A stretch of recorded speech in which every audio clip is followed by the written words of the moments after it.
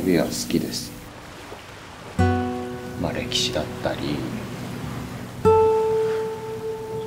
まあいろいろな現地の人とコミュニケーション取れたりもするじゃないですか。なんかそういうところでもちろん発見もあるし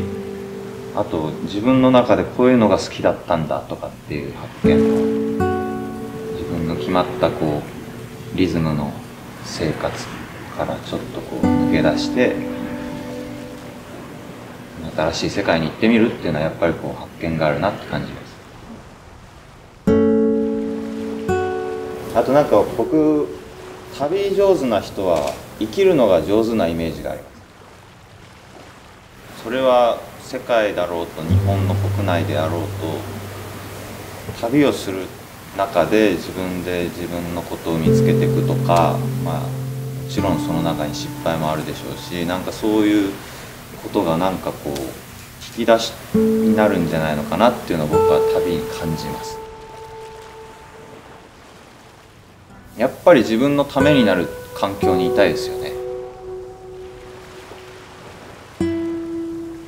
アドベンチャーキングアンリミテッド。